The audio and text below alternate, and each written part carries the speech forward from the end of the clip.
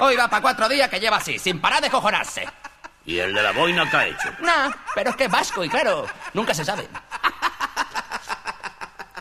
Egurrabea nahi, pitilingo ri. Hay que joderse, no más oírles hablar se le nota que son culpables, leche.